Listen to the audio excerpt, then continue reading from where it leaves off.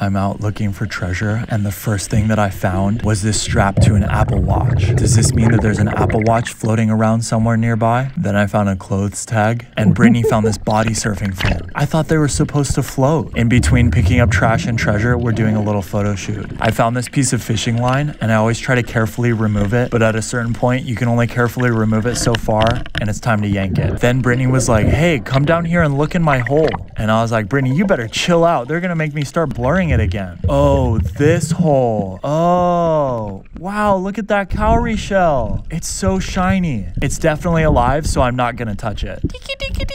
Down at the bottom, I found these definitely dead shells and these two fishing weights. Then I thought I saw a really nice shell inside of this really tight cave. The sun was shining so beautifully, I thought there had to be some treasure in there. Oh no, a wave is coming. How am I gonna get out of here? Okay, that's all the stuff we saw. Bye.